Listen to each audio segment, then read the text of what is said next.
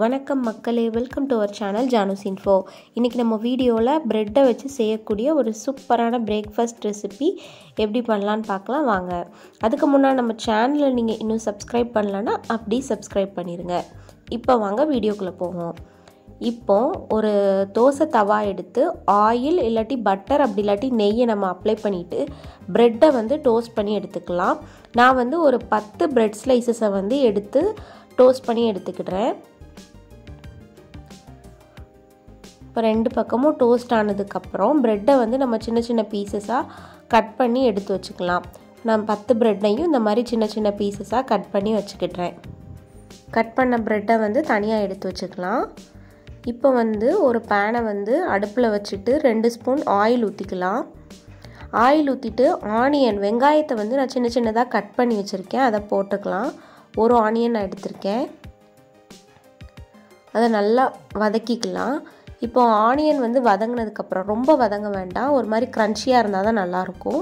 Onion வதங்கினதும் ஒரு தக்காளி எடுத்து அதை பேஸ்ட் பண்ணி அப்படி ஊற்றிக்கலாம் இப்போ இந்த தக்காளியோட பச்சை ஸ்மெல் போகணும். தக்காளியோட பச்சை ஸ்மெல் போனதும் ஒரு அரை ஸ்பூன் இஞ்சி பூண்டு பேஸ்ட்டு நம்ம சேர்த்துக்குவோம். இப்போ அதோட பச்சை ஸ்மெல் போனதுக்கப்புறம் ஒரு கொடமிளகாயை வந்து நான் இந்த மாதிரி ஸ்கொயர் ஷேப்பில் கட் பண்ணியிருக்கேன். அதையும் ஆட் பண்ணிக்கலாம். கொடமிளகாவுமே ரொம்ப வந்து வேகக்கூடாது. அதுவுமே க்ரன்ச்சியாக இருந்தால் தான் நல்லா டேஸ்ட்டாக இருக்கும். இப்போது அதுவும் வெந்ததுக்கப்புறம் உப்பு இதுக்கு தேவையான அளவு உப்பு ஆட் பண்ணிக்கலாம். மசாலா என்னன்னு பார்த்தீங்கன்னா சில்லி பவுடர் தேவையான அளவு. நான் வந்து முக்கால் ஸ்பூன் போட்டிருக்கேன். உங்களுக்கு எப்படி காரம் தேவையோ அந்த அளவுக்கு போட்டுக்கோங்க. கரம் மசாலா கால் ஸ்பூன் போட்டுக்கலாம். இப்போ இதில் பச்சை ஸ்மெல் போனதுக்கப்புறம் இதில் வந்து நம்ம கட் பண்ணி வச்சுருக்க ப்ரெட்டை வந்து ஆட் பண்ணிக்கலாம். இப்போது உங்கள்கிட்ட வந்து சாஸ் ஏதாவது இருந்துச்சுன்னா டொமேட்டோ சாஸ் இருந்துச்சு மற்ற சாஸ்லாம் வேண்டாம்.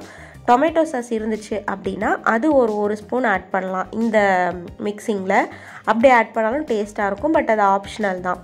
இப்போ நான் எதையுமே ஆட் பண்ணல. டொமேட்டோ சாஸ் நான் கட் பண்ண வச்ச ப்ரெட்டை வந்து அப்படியே டேரெக்டாக இதில் ஆட் பண்ணிட்டேன். இதை பெரட்டி எடுத்தோம் அப்படின்னா டேஸ்டியான ப்ரெட் சில்லி ரெடி ஆயிடுச்சு ஃபைனலாக வந்து மல்லியலை வந்து தூவி நம்ம ஸ்டவ்வை ஆஃப் பண்ணிக்கலாம். இந்த பிரேக்ஃபாஸ்ட்டை வந்து நம்ம ப்ரெட்டை மட்டும் வச்சு நம்ம செஞ்சிடலாம். டென் மினிட்ஸ் கூட ஆகாது. சீக்கிரமாகவே செஞ்சு முடிச்சிடலாம். கண்டிப்பாக ட்ரை பண்ணிவிட்டு எப்படி இருந்துச்சுன்னு சொல்லுங்கள் தேங்க்யூ ஃபார் வாட்சிங்